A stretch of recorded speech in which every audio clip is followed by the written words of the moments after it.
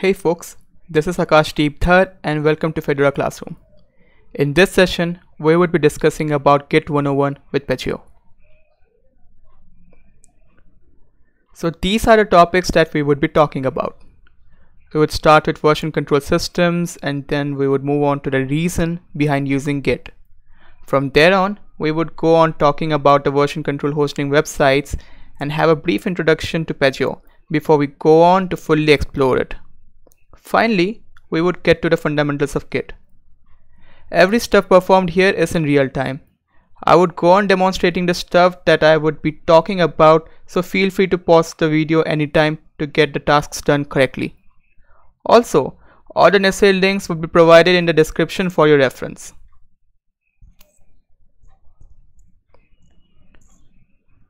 Let us now take two scenarios into consideration. In the first scenario, Ajay is expected to turn in a code snippet with the features he was assigned and believe me when I say it, it is a big code. There are a lot of changes that needs to be done but with every modification that Ajay makes, there are features which are getting fixed but there are features which are getting broken. So he backs up the code with names like project underscore test.py and projects underscore backup.py and whatnot and keeps on renaming them when it is needed. While in the second scenario, Mahej and Mohit are collaborating on the same code base together but cannot quite do it effectively as they cannot work on the same stuff simultaneously. Also, even if they were working on the separate files, they were left scratching their heads thinking why putting together their code did not work like it's expected. Sending code files and dependencies over the mail can be a headache, with many mail providers not actually allowing them at all. If you have been in either of the aforementioned situations, believe me, you might have come across to realize that the way the codes are getting backed up and the way people are collaborating is all over the place. And if a version control is used, that can be a solution. Now talking about version control systems to be the solution for problems like these, it helps you to seamlessly manage changes made to your codebase, be it by anyone or at any file. You can handle concurrent additions made by multiple people on a single file quite easily. Go into tracking edits and checking up on the progresses made by the request features. You can also roll back unintended changes made by the file with the ease when it is needed. If you want to experiment new features, you can do so with the help of branches. All in all, version control systems help you alleviate the issues you might come across when you try to collaborate while developing, making it your companion in building complex projects. Now that we have understood how version control systems can be of great help, let us move on to see the tools we can use for it. On your screen, you have a total of three most widely used version control tools displayed. Starting with Git. Created by Linus Torvalds for handling the development of Linux kernel, it has now grown to be the most widely used version control system in development. Being distributive in nature, you can track changes made to your code base and all of the metadata of changes made are stored in a single directory. This makes it an excellent option since network dependency is not an issue at all. Moving on to the Apache Subversion or SVN as some people might like to call it. It is a software versioning and revision controlling system capable of keeping history of code, documentation and web pages alike. It was created by CollabNet Incorporated to be a capable successor of the widely used CVS and is used in projects like ASF, Free Pascal and FreeBSD. And finally we have Mercurial. It is a distributed revision control system just like Git, capable of robust handling of both plain text and binary files. It was written by Matt Mackall mostly in Python with some parts in C to be high performing, scalable and decentralized. So why is it that we prefer Git the most and why not use something else? To answer that, let us look what Git is capable of. Git uses SHA compression for changes which make it pretty fast and robust. It can conveniently handle conflicts when the same file is worked upon by multiple people. If there is an experimental code, they can be easily tested out with the help of branches which more or less creates a sandbox to protect the important code. As the commits are immutable in nature, you have the choice to roll back, revert changes at any point of time you want and if there is any in changes that you made in the code base that you want to fall back to. Keeping in mind just how popular Git is, you're highly likely to come across documentation on it like everywhere. There would always be fellow contributors around you willing to help you out with your questions and doubts. VCS hosting websites take your ability of coding collaboratively to a whole new level with the amount of ease and convenience it facilitates you. Forges like these allow you to track changes made by all of your fellow collaborators in the project from a web interface. You track issues, discuss about it, assign it to the people to manage features. If a project is open source, you can fork it to have your own copy of the repository where you can add your changes to your liking. And once you're done with those changes, even your part of the code is just one pull request away from being included in the main repository. VCS hosting websites do make it a lot easier to collaborate with people in the same code base even if they are like thousands of miles apart by sharing a common remote repository. Talking about VCS hosting websites, you can see that there are three most popular VCS forges that are used by the developers across the globe. Let's start with GitHub.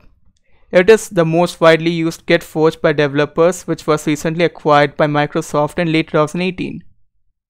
Written completely in Ruby on Rails and Erlang, it has size limitation on files and repository storage cap. Developers often frown on how limited they are when it comes to a private repository and many of its features in the private repository can only be availed on payment. Next up we have GitLab. Now when it comes to the GitHub, in, it comes to a second in terms of popularity. Advertised as a DevOps lifecycle tool by GitLab Incorporated. It was written in Ruby on Rails, Erlang, Vue.js, with many parts of it being ported to Go for speed. As compared to GitHub, it has looser limitations on files with much more advanced features like continuous integrations built right into it. Users can have unlimited number of private repositories.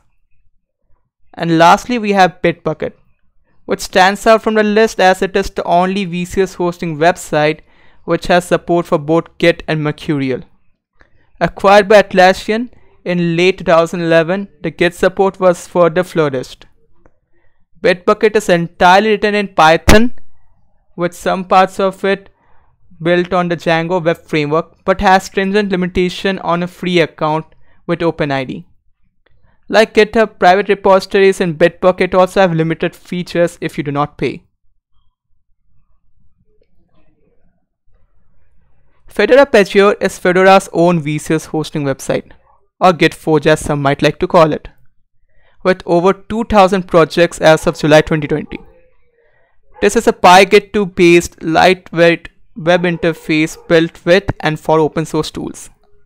But how exactly is it better than the other three VCS hosting websites that we just discussed about and why should you use it? Let us find out. Pagure is a fully free and open source Git forge for all the projects related to Fedora. Being lightweight focused and easy on resources, it comes as a package so you can also deploy it as your own instance on your own PC. Keeping in mind that there are over 2000 projects related to Fedora, having it on some other VCS hosting website is truly a no-go, for it gives us the independence from the downtimes as they might face. Better yet, Pagure also supports mirroring repositories which makes migrating from other VCS hosting websites like GitHub, GitLab or Bitbucket an easy task. Now that you're introduced to Pagure, Let's not wait up anymore and jump right into exploring it. But in order to fully able to do so, you need an FAS account or Fedora Account Systems account. Head over to the site, create an account to log in to begin. Take your time right now, pause the video if you're creating an account. And if you're done making it, you might want to log in so we can proceed with the further steps.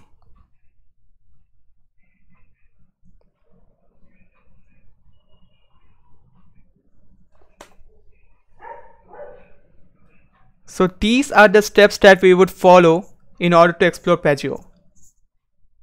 These are the things that we would primarily explore over here.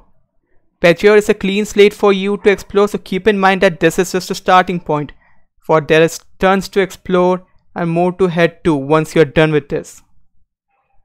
Firstly, we'll start with logging into your newly created account of the Fedora account system. Once we are in, we will generate an SSH key pair from our PC and then added a public key to your account so you can clone your repository and push changes to it using SSH. Feel free to look about SSH if you are unaware about it. Then we would finally create our first repository in Pagure. So if you have any browser, Firefox or any other browser of your choice, feel free to open it up and head to the link which is listed over here. The link of it is also provided in the description.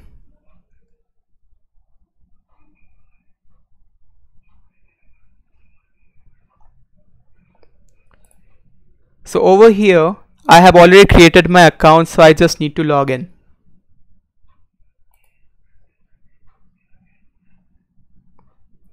So once you have created your account and once you have clicked on the login button, just enter your credentials over here. So my credentials have already been entered and I'm just one login button click away from logging into my account.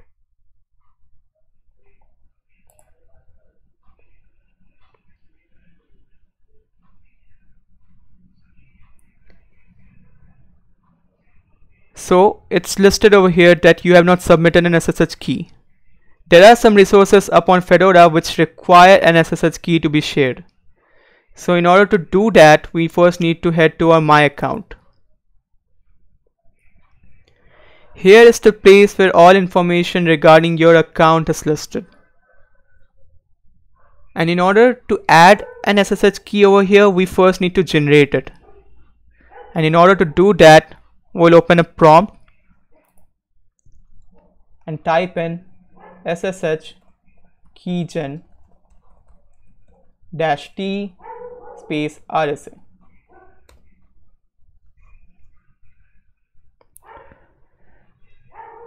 So when we do it, it generates an RSA key pair for us. Now what exactly is RSA?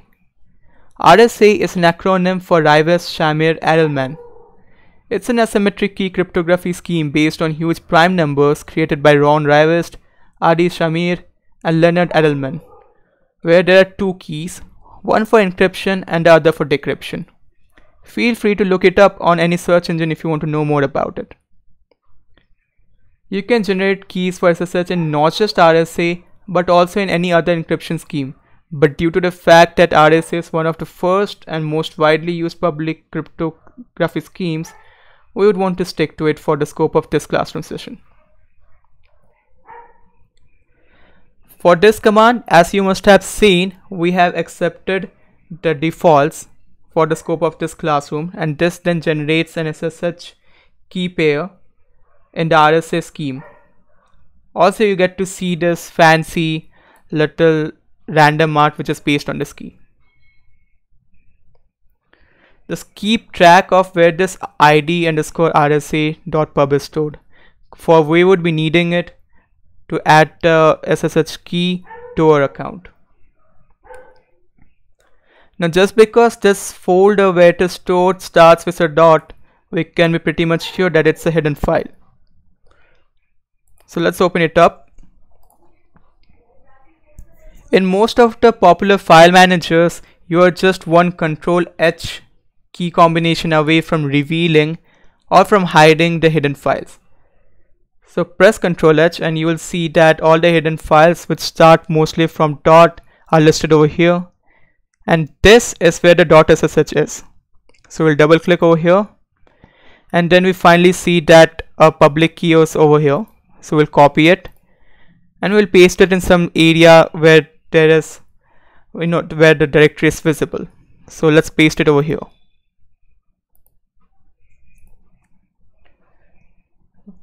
so for your convenience you might want to bring things back to where they were. So if the files were hidden you should hide them back by pressing Ctrl H back again. So now that the files are hidden let's head back to the browser. And in this account details the public SSH key is the section where we need to add this. And in order to add this we need to click on the edit button near the account details. So click on it.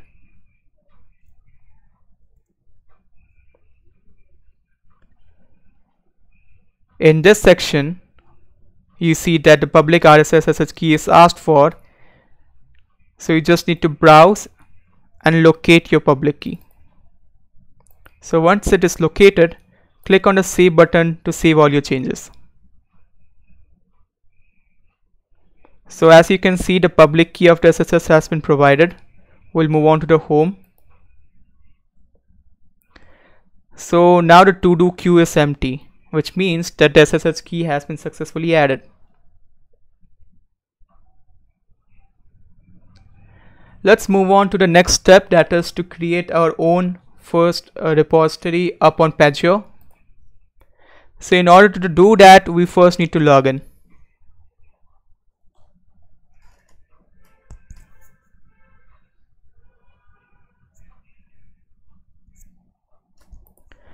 insert your credentials over here and click on the login button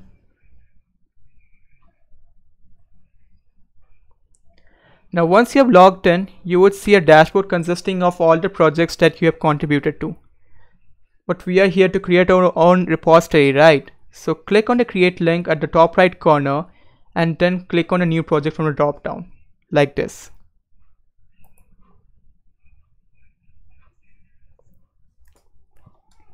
Add a project name to your liking while avoiding any kind of special characters and spaces while naming.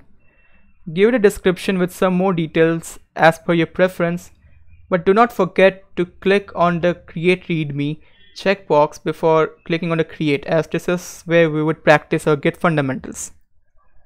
So let us name this project as git 101 with Pagure.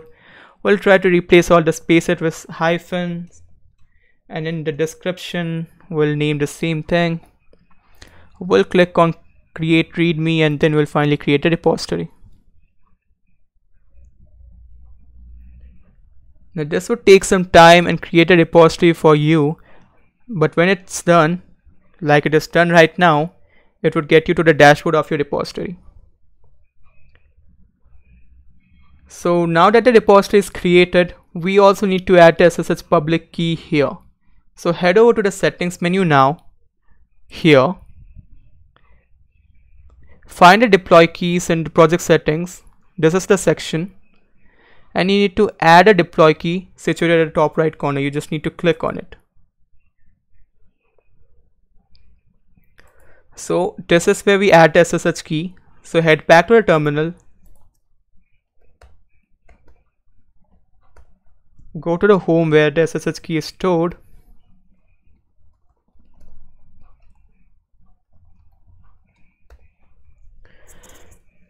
and type cat space id underscore rsa dot pub. So this would display the contents of this SSH public key file and you can simply highlight this all, copy this, go back to the browser tab, paste it and also click on the push access just because you would be pushing a lot of commits using this SSH access. So click on it and click on add.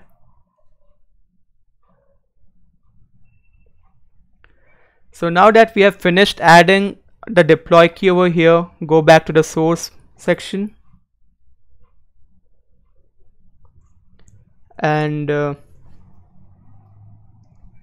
we are done with the part of basics, uh, exploring the basics of Pagure. So let's move on into some Git fundamentals. as this is one of the most important things in the session, I have further divided this section into four parts for the convenience of the viewers.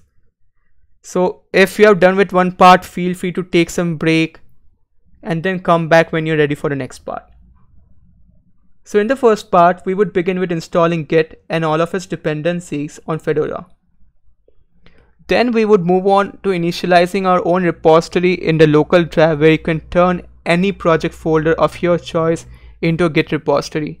And then finally, for this part, we would clone an existing repository to create a local copy for it. So let's get started with the first part.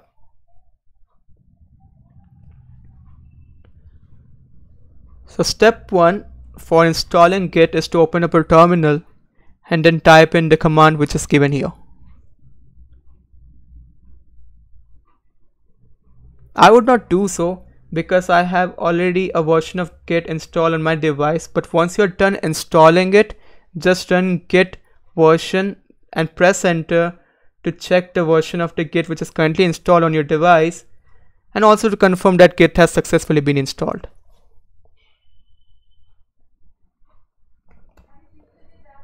So let me type in git version and you can see that the version that I have installed is 2.27.0.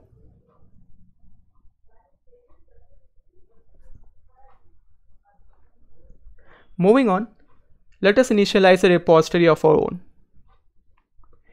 And in order to do that, you can simply navigate to the project folder, a directory of your choice, and then open a terminal in that location. So let's just do that. So let us go into the projects directory. Let us make a directory of our own. Let's call it git basics. And once the folder has been created, what you can do is you just need to go inside that folder. So we'll cd into it. And then we would initialize the repository. So this folder has now become a git repository. So what exactly has the change happened? Because when I'm listing the directories, nothing exactly is different. It was empty and it is empty right now. But if we show all the files, including those which are hidden, you'd come to see that a hidden file called .git has been created. Let's move into it.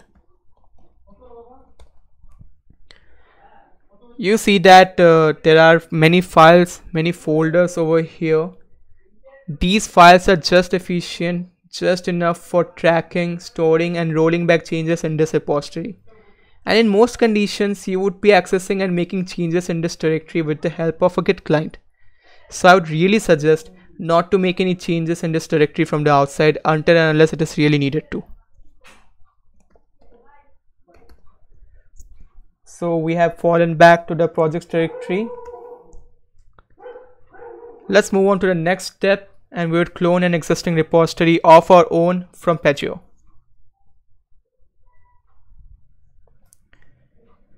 so we would be needed to head back to the browser and go to the dashboard of the newly created project so let's do that once you're there click on the clone button at the top right corner and copy the SSH clone URL. So this URL is the URL that we're looking for. So when you click on it, it is conveniently highlighted as a whole. So you just need to make a right click and copy it and then come back to the terminal and clone it. So what exactly do you need to do in order to clone it? So once you have copied the clone URL, you just need to type in git clone followed by the clone URL. So let's just do that.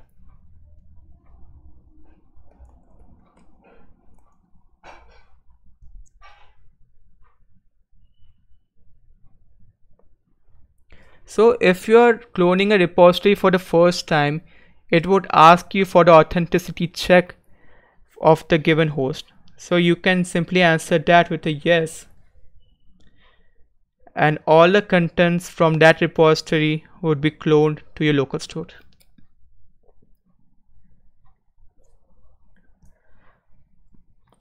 So the repository has been completely cloned. We have a copy of git hyphen 101 hyphen with hyphen pagure in the local storage. So in order to make changes to it, we need to change our directory and get into it. So we'll do just that.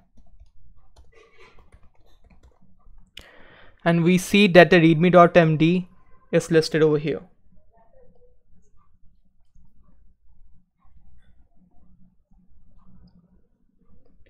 So now that we are done with the first part of Git fundamentals, we are moving on to the second part. And in this part, we would be talking about how you can stage files before committing them by adding the file. We would also learn about how you can commit those staged files and then we would get down into experimenting with our code with the help of branches by diverging out branches and converging them when the changes are complete. So let us begin with the second part. So in order to commit changes, you need to add them first. So they become staged. So right now we need to follow the step one. We have already in, been inside the project directory and the terminal is already open over there. So the only thing that you need to do is make changes and add your file name. So what you can do is you can uh, go to the terminal, make some changes in the file. So right now I have this markdown document. So let me add hello. I am learning Git basics.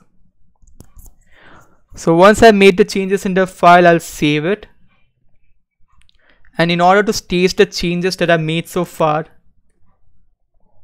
I will be typing git space add space readme dot md. So this stages all the changes that you made so far and this change is ready for getting committed. If you want to state changes in files like a lot of files and you don't want to list them all just because they are in recurring directories then you can also do something like this. So what it would do is it would uh, intuitively check through all the files and see if, on which files the changes have been introduced, which files are different than they were previously. And then it would stage them. So Git would intuitively skim through the files, list them all, and then they would be ready for getting committed. And then finally, that the files that were staged, we need to commit them. So now that we have staged the change in readme.md, we are just one command away from committing that change. And that command is git space commit space hyphen m space any commit message that you would want to write. So let's just do that. So we have added a line. So we'll just describe that commit message over here.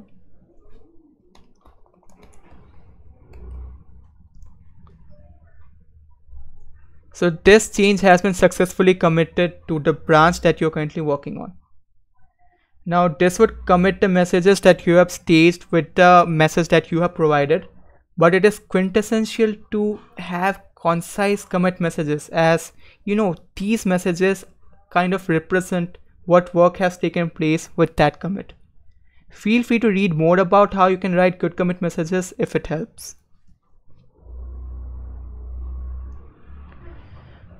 Now we are at the part where we can experiment with our code. Now what if we wish to make an experimental change which has like a 50-50% of possibility of either making the code better than it was before or breaking the current functionality? Should you really risk adding that code to your primary branch without checking? Git branches are an answer to that question. You can diverge a branch from a current primary and add your experimental code in it. In this way, you can get a totally safe sandbox to work on while keeping the existing primary branch totally safe. It sounds cool, right? So let's jump into discovering how exactly you can do that. So the step one would be listing all the branches that exist right now in your repository by typing in git branch hyphen hyphen all.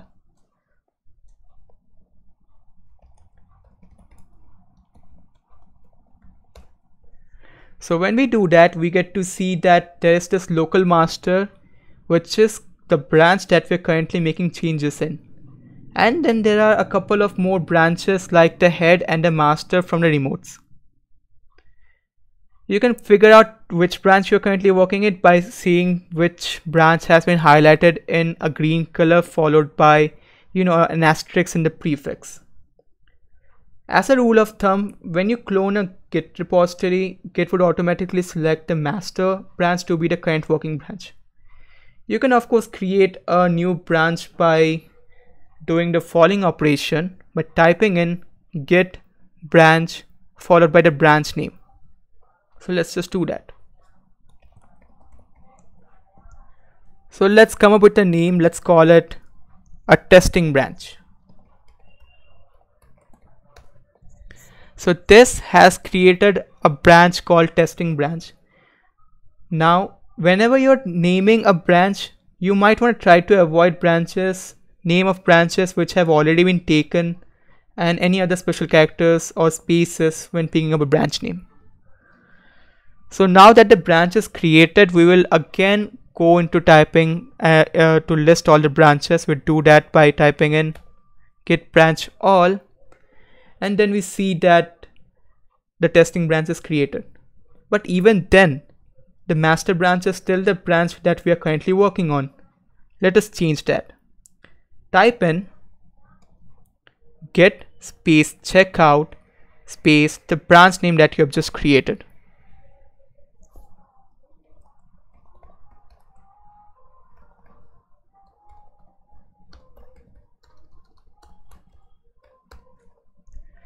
So this switches your current working branch to the testing branch that we have just created. Here again, you would really want to avoid the branch names which do not exist at all. So if we are to list the branches again, we would see that now it is the testing branch which is highlighted in green color and has an asterisk as a prefix, which makes out that this is the branch that we're currently working on. Now in this new branch, let us make changes pertaining exclusively to this branch. So whenever the changes are made, we would go ahead and stage them to commit them. For this purpose of the session, I would create a new file and make changes to it. So let's do right that. Let's make a new file called test.md and write this as a test file So you see that uh, I've created a file called test.md and I have added a content to it. So let's, you know, stage the changes by typing in git add test.md. So this stages your changes and let's commit it as well.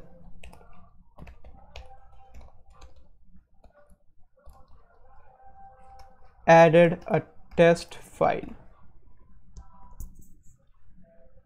So this has committed the change to your branch.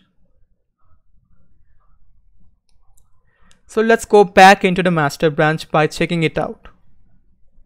So do that, we'll type in git checkout master.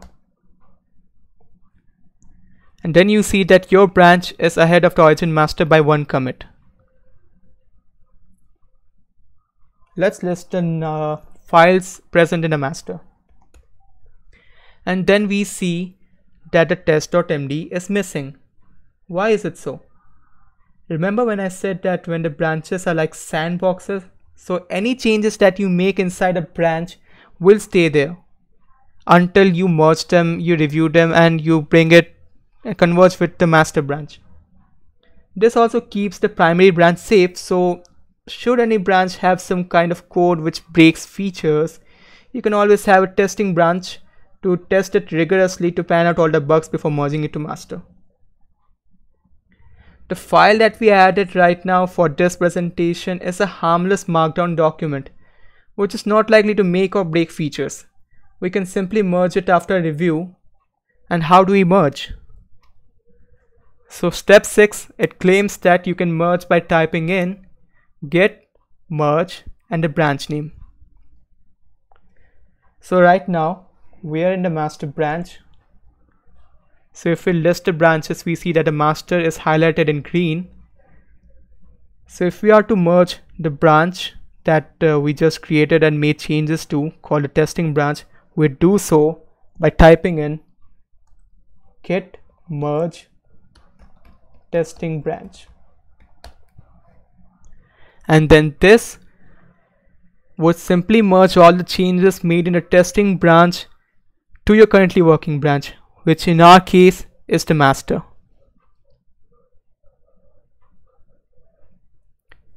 So we're already halfway there. In this third part of the git fundamentals we would be exploring some of the advanced features of git. We will start with uploading all the committed changes made in the local repository to the remote repository. Then we would learn about fetching changes and pulling changes and which one of like where these are the things that are the most useful if you're collaboratively developing something with multiple contributors and those all contributors are kind of making changes in the same branch. We would also go on exploring about how fetching and pulling are different from each other. So let us begin with the third part. So we will continue with the clone repository here. So move into the terminal and type in git push. git space push. So let's see what it does.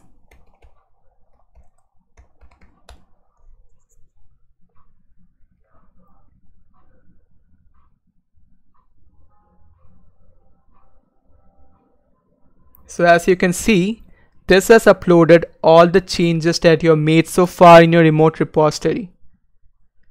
So any changes that you made in your local repository is now replicated in the remote repository as well. So once it is done, we would now head to the project dashboard. So let's just do that and see the commits. So as you can see that uh, commits that we made using the terminal, the git uh, CLI has been reflected over here. So we added a line, then we added a test file. Pushing all the changes to a remote repository also helps in backing up your code. I mean, if you look closely to the commits that you have made, let's look into the uh, second commit that we made that is adding a line. So you see that the changes that you have made so far are having the original timestamp. So when they were made, so it is really not important when you push the changes. You can have all the changes in your local repository and while making like hundreds of changes, you can push it after that. So the original timestamp will be retained for all the contributions. So moving on, let us discuss about how you can fetch changes from a remote. Now this is an extremely important feature when you and your fellow contributors are sharing the same branch. So any progress made in all the sites should stay synchronized. Fetching allows you to do just that, but you can still decide if you want to create those changes to be a part of your local copy or not. One of the reasons why you would not want to do that is because you are not very sure if your changes can play well with those made by someone else. So in such cases, if you merge the changes made by someone else to your branch, it might break your code as well. So that is something that is not at all recommended if you're unsure about your code. So a pull request can be helpful in the other side where you're sure but at this time when you're not sure that the code is going to play well or not a fetch can be helpful so I would not be demonstrating the fetch operation as the repository used for demonstration has only one contributor but as you may have come to realize fetching changes is as easy as doing the three steps listed here It's just as going inside a git repository and typing in git space fetch. And this would then fetch all the changes made in the remote to your local repository without actually affecting the branches that you're currently working on. The pull changes, the pull operation part is slightly different from that of the fetch. It kind of follows the steps of the fetch by getting all the changes from the remote repository but then it is followed by merging all the changes from the remote repository by the current branches. The subsequent merge after fetching all the changes updates your local repository with the changes stored in a remote repository. Now this can be helpful in circumstances where you're sure that updating your local repository would not break any feature and any active collaboration is needed or there were a part of code of some other contributor acts as an input to your code in such situation, pull operation is much more preferred. Now just like fetch operation, this can be performed, but as this is a documentation file, we would be editing it using the editor that uh, the Pagure provides you with. So suppose I go inside the readme.md file or let's say we just go inside a test.md file and using the editor provided here we'll just end up editing it saying this is an edit. Would make changes in the master and we'd just say that the commit is update test.md and we'd be done with that.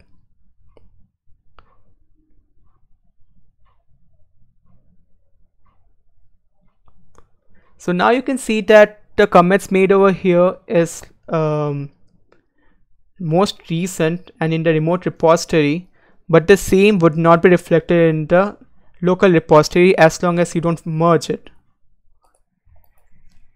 So let's do that.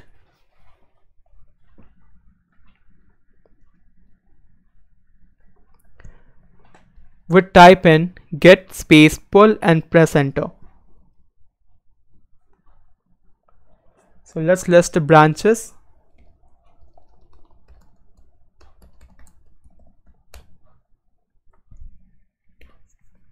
So this would list all the branches and as we can see master is the branch that is currently checked out. So we would simply enter git pull. This would give you a warning the warning that I already told you about that if you're making a change that cannot play well with those made by someone else, you might not want to keep away from having a pull because it would merge and it would overwrite your changes to add theirs. So as you can see that we have received a file with two insertions. The file has been changed. So let's list the file and see what exactly has changed.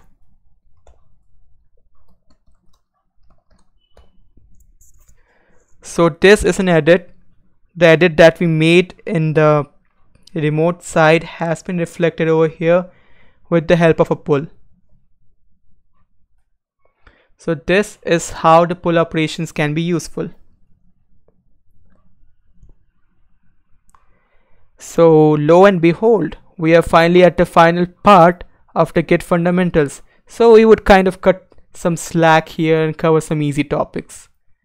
We would start from checking the current state of the Git directory and explore what common issues you are likely to face when working with Git.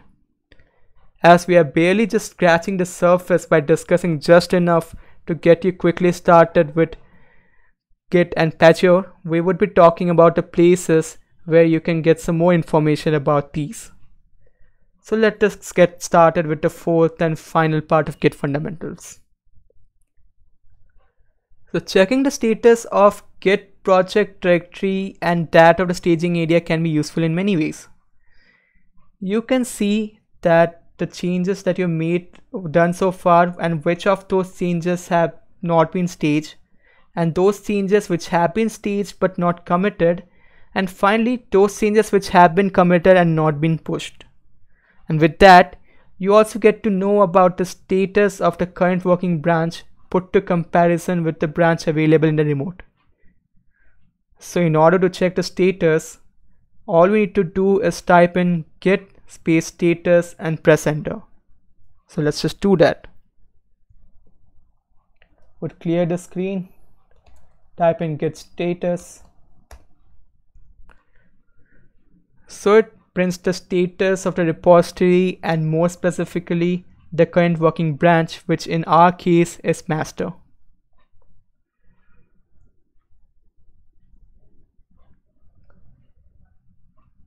So let's face it, Git can be an easy thing to start with, but keeping in mind how complex situations it can handle, you might come across a lot of issues while using it. Here I have listed some of the common issues that people mostly face when starting off with Git. One of the most common issues is when people can clone a repository just because it's open but cannot push changes to it. It might happen when the repository does not belong to you. So in order to make changes, you first need to make a fork of it and then push changes to your fork. Secondly, your repository might be cluttered with time, with many dependencies getting committed all together with the code when you could have just added it as a list of requirements. You can avoid such situations by explicitly listing the files you want by saying that git should ignore some files. Now how do you do that? In order to do that you can list all the files in a .git ignore file. Feel free to look up about it if you want to more know more about it. Finally, people face a lot of issues when they try to make unreviewed changes to the master branch, which actually ends up breaking their code. Do not do that. I mean, I really mean it. Do not do that. Do not directly commit to the master. Making commits to a branch first and then reviewing it relentlessly and then finally pushing it to the master is one of the good practices that you should follow while using Git. Merge only those changes to master when you have uh, reviewed them. Making changes to a master without reviewing will break your code. So these are just the basics that we have covered right now. Though the topics we have covered along with the demonstrations can be just enough to get started with, but there is plenty of more useful features that we did not talk about and knowing about them would require further reading. To start with, there can be no better place than Git's own website, GitSCM, its original documentation to learn more about the cool features. The link has been provided here and the same will be provided in the description below to feel free to check it out. Also, the search engines are your best friends. If you cannot quite figure out what your problem is, but you know that there is indeed a problem, all you can do is you can copy a snippet of your code and look it up on Google or DuckDuckGo. And you'd find that there are plenty of people just like you who had been in the problem and have solved it for you. And finally, we have a join special interest group. Feel free to ask your questions or just drop by to say hello in Fedora Join. The link is provided here and in the description below. This is a special interest group to enable people to join Fedora community. It does that by letting them converse with the existing members, make friends, find mentors and get a feeling of what and how exactly the community does. And in doing that, we reduce the learning curve for the new members. So feel free to join the special interest group. So with that, we have finally reached the end of the classroom session. If you have liked this video, hit that like button. Help your friends out by sharing this video with them if they're looking for such information. And subscribe to this channel for more such informative content. This is Akashdeep Dhar signing off.